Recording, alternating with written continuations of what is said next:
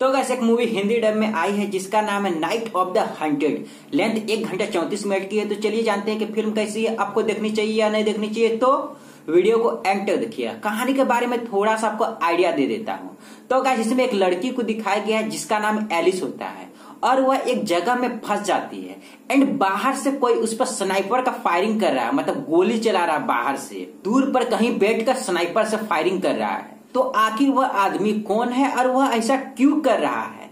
And जो अब Alice है मतलब जो लड़की है जो वहाँ पर फंसी हुई है, अब वह क्या करती है? उसे किन किन समस्याओं का सामना करना पड़ता है? क्योंकि उसे अपना जान भी तो बचाना है। और आखिरकार वह आदमी क्यों उसे मार रहा है? कारण क्या है? और फ़िल्म में कौन सा ट्विस्ट एंड टर्न आने वाला है, यही सब जानने के लिए तो आपको ये फ़िल्म को देखना पड़ता है। तो अगर इस फ़िल्म को एक शब्द में रिव्यू करूँ तो मज़ेदार जी हाँ फ़िल्म मज़ेदार है। और जिस तरह से फ़िल्म में मतलब सस्पेंस को दिखाया गया है और जो थ्रिल को दिखाया गया है, वह काबिल तारीफ़ है। देखने में बहुत ही बढ़िया लगता है। और जिस तरह से ना खून खराबा को दिखाया गया है, वह एकदम रियलिस्टिक लगता है देखने में। एकदम नेचुरल सा लगता है। एकदम कुछ कुछ मूवमेंट में ना आपका मतलब ना दिल का धड़कन रोक देगा और साँसें तेज कर देगी। वह वह मूवमेंट दिखाया गया है, जो देखने में ओवरऑल बहुत ही अच्छा लगता है।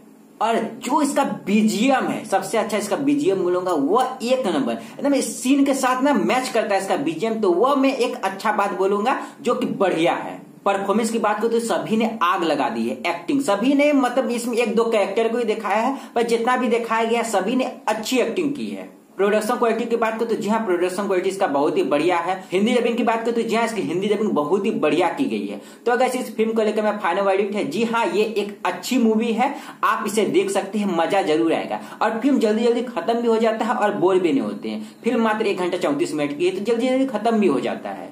और हाँ कुछ भी वलगर से नहीं है तो आप फैमिली के साथ देख सकते हैं, कुछ एडल्ट लैंग्वेज का इसमें उपयोग किया गया है, पर इतना चलेगा। तो मिलते हैं एक नए वीडियो में, तब तक के लिए जय हिंद, वंदे मातरम।